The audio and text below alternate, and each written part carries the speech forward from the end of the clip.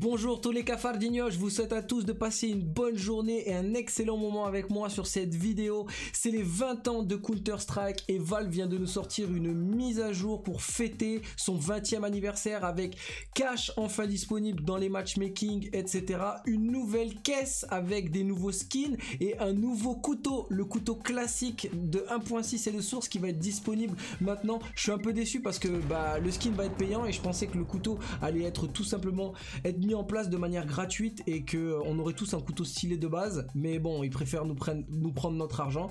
Donc euh, je suis un peu triste là-dessus. Et puis les skins sont pas fous. Les stickers par contre sont plutôt stylés sur la nouvelle caisse. On va voir maintenant euh, tout en détail la nouvelle mise à jour. Let's go. Petit, petite parenthèse les amis, il y a des promotions en ce moment et je vous invite à passer sur mon site quand vous voulez acheter du matériel. voilà, là notamment les écrans 144 Hz. Il y a le BenQ qui passe à 188 euros, frais de port gratuit en plus. Et quand vous passez par mes liens Amazon, je touche une commission de 3%.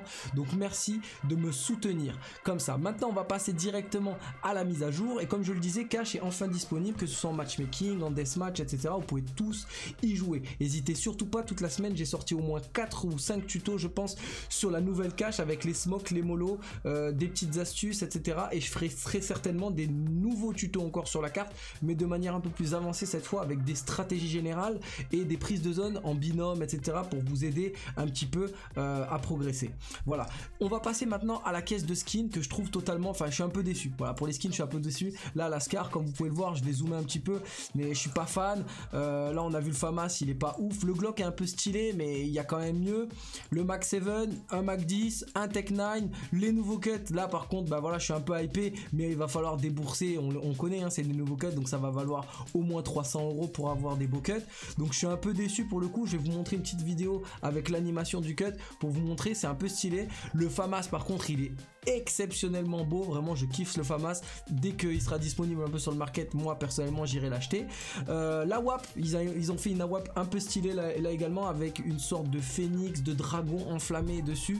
Euh, et franchement je kiffe de ouf la nouvelle AWAP et le FAMAS. Sinon tout ce qu'il y a un peu dans la caisse est dégueulasse. Il y a un P90 par contre, un petit clin d'œil que je kiffe pas mal. Voilà le nouveau P90 et franchement c'est stylé. Il y a, y a l'avatar, il y a le modèle de, Counter-Strike 1.6 dessus et c'est très, très, très, très certainement un gros clin d'œil parce qu'ils l'ont nommé P90 Nostalgia. C'est un très beau clin d'œil qu'on fait euh, Valve pour le coup pour cette mise à jour. Et sinon, tous les autres skins sont pas fameux, on va pas se mentir. Je suis un peu déçu de la mise à jour dans le sens où, bon, ils nous sortent une nouvelle caisse, ils nous sortent euh, des nouveaux skins et tout, c'est sympa. Mais euh, pour les 20 ans, je m'attendais quand même à une refonte de CSGO, des trucs un peu plus dans le dur, quoi, du jeu. Et là, pour le coup, c'est juste euh, un petit apport au niveau des, skins et je suis un peu déçu. voilà, j'en suis un peu là. Je vais vous montrer, donc là, comme vous pouvez voir, la nouvelle, cut avec l'animation. Je suis pas voilà je suis pas hypé de fou. Euh, je pensais que ça allait être un cut basique. Et euh, je, serais vraiment content si ça, avait été si ça avait été mis en place de manière gratuite pour tous les euh, le cut de base quoi. Mais là pour le coup bah va falloir payer pour un nouveau cut. Là-dessus je suis un peu déçu surtout que c'est le classique et ça m'aurait vraiment plu de l'avoir. Et voici les nouveaux stickers. Là par contre les nouveaux stickers je les trouve vraiment stylés. Mais encore une fois c'est quelque chose d'optionnel c'est quelque chose de banal c'est pas quelque chose vraiment de primordial et il y a beaucoup de clin d'œil là encore avec ben voilà les, 20 ans ici avec le, ce sticker là euh, le sticker ici qui dit Too old for this. Franchement, je kiffe pas mal les nouveaux stickers. Il y a 2-3 skins qui sont sympas, mais la grande majorité est complètement dégueulasse.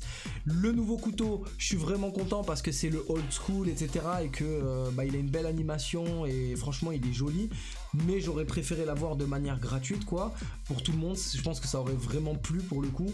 Et, voilà, la mise à jour s'arrête tout simplement là. Voilà ce qu'était la mise à jour. Dites-moi dans les commentaires ce que vous, vous en avez pensé dans le sens où si vous êtes hypé euh, par ces nouveaux stickers, il y en a qui sont fans de skins, je le sais très bien, des couteaux, des collectionneurs. Donc euh, dites-moi ce que vous avez aimé, ce que vous avez surtout détesté, parce que je pense que là on est beaucoup. Et euh, on espère bien sûr avoir des mises à jour beaucoup plus complètes dans le dur, quoi, mécaniquement sur, sur Merci à tous d'avoir suivi cette vidéo. Ceux qui sont pas abonnés, n'hésitez surtout pas à lâcher le bouton subscribe. Bientôt les 80 000, je compte sur vous tous. Lâchez un like si ça vous a plu et à très bientôt tous les cafardinos.